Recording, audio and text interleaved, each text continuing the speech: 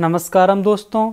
आज मेरा आपसे एक सवाल है कि क्या हम अपना टूथपेस्ट, क्या हम अपनी टॉबेल क्या हम अपना पर्स, क्या हम अपनी घड़ी, क्या हम अपना मोबाइल किसी के साथ में शेयर करना चाहते हैं? ऐसा कौन है जो इन पर्सनल चीज़ों को किसी के साथ में शेयर करना चाहेगा? आपका जवाब होगा कि कोई भी नहीं। ये बात सही है। तो जब हम ये छोटी छोटी चीज़ों को किसी के साथ में शेयर करना नहीं चाहते हैं तो अपनी सबसे बड़ी संपत्ति, सबसे बड़ी दौलत जो हमारी ऊर्जा है, हम उसको क्यों किसी के साथ में शेयर करते हैं? हम क्यों उसको किसी को देते रहते हैं? और ये जाति कैसे है किसी के पास में? कैसे शेयर होती है?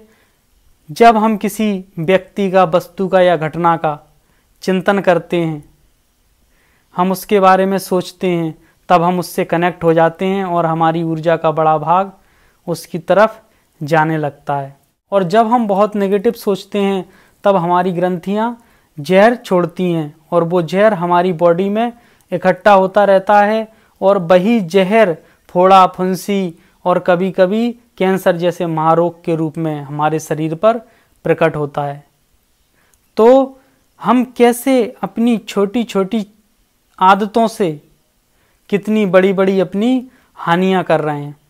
ऐसी मशीनें भी आ चुकी हैं जो आप क्या सोच रहे हैं, पॉजिटिव सोच रहे हैं कि नेगेटिव सोच रहे हैं, वो तुरंत बता देंगे। जब आप नेगेटिव सोचेंगे, तब आपकी फ्रिक्वेंसी बहुत लो लेवल पर होगी और जब आप अपने चिंतन को बदलेंगे और आप सकारात्मक सोचेंगे, तब आपकी फ्रिक्वेंसी का लेवल बहुत हाई होगा। ऐसा मशीन तुरंत बता देती है।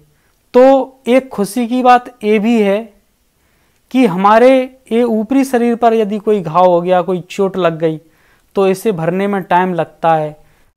लेकिन यदि हमें भीतर से अपने आप को ठीक करना है तो मन की स्थिति बदलने पर तुरंत ठीक हो जाते हैं हम। क्योंकि हमने नेगेटिव चिंतन किया था तो मशीन फ्रिक्वेंसी लो बता रही थी। हमने तुरंत चिंतन चेंज किया, तुरंत रिज़ल्ट चेंज हो गए। लेकिन हम भारतीयों को एक बहुत बड़ा शौक है और वो शौक है बातचीत करने का। हम सब कुछ किए बिना रह सकते हैं, लेकिन बात किए बिना नहीं रह सकते। और जब हम किसी के साथ में गपशप करते हैं तो वही निकलेगा जो हमारे भीतर भरा हुआ है। थोड़ी देर तो हम अच्छी अच्छी बातें करेंगे। ये हुआ, वो हुआ, बहुत अच्छी बातें, धर्म की, सत्संग की। और थोड़ी देर बाद फिर जो भीतर भरा पड़ा है, पॉलिस हटी और जो भीतर भरा पड़ा था, वो निकलना शुरू होगा और किन्हीं लोगों को हम माध्यम बनाएँगे और उनके बारे में चुगली, उनकी निंदा, उनकी बुराई शुरू कर देंगे। अब हमने उनको एनर्जी देना शुरू कर दिया। और जब हम किसी के बारे में नकारात्मक चिंतन करते हैं या हम किसी चिंता से ग्रस्त हैं, इन दोनों ही स्थितियों में हमारे शरीर का जो वज़न है, वो घटने लगता है। और हमें लगता है कि हम फ़िज़िकल फिट हो रहे हैं, लेकिन वास्तव में उस चिंता से, उस भय से हमारे इस शरीर का वज़न घटने लगा है। कहते हैं ना कि चिंता आदमी को चिता तक पहुँचा देती है। हम कहीं बैंक में थोड़ी देर के लिए लाइन में लगे हैं और वहीं पर एक बातचीत का माहौल बना लेंगे और जो बैंक का कर्मचारी है, जिस पे हमें डिपॉजिट करना है, जिससे सर्विस लेनी है, उसकी हम निंदा करना शुरू कर देंगे चार पाँच लोग इकट्ठे होकर कहीं टिकट लेने के लिए लाइन में खड़े हैं। वहाँ पर अपना एक ग्रुप बना लिया और जो टिकट हमें दे रहा है, उसकी निंदा शुरू कर दिया। तो हम निंदा करने में कितने माहिर हैं और हम निंदा करने में माहिर नहीं हैं। इस तरीके से हम अपने आप को बीमार करने में, अपने आप को दुखी करने में, अपने आप को अशांत करने में माहिर हैं।